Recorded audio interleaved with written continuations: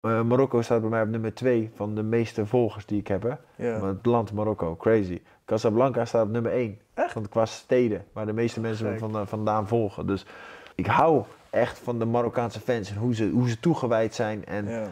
Maar je hebt dan een, een, een groepje erbij zitten. Dat ik dan denk, ja, weet je, zo intens hoeft het helemaal niet te zijn. Hetzelfde als er een voetbalwedstrijd is of whatever, dat we dan de hele stad afbreken. Of whatever. ja, ik snap het gewoon niet. Ja. Ik kan er niet bij. Gewoon die intensiteit en die haat. En ja, dat is, het is sport, jongens. Laten we er gewoon lekker met z'n allen van genieten. Op een leuke en positieve manier.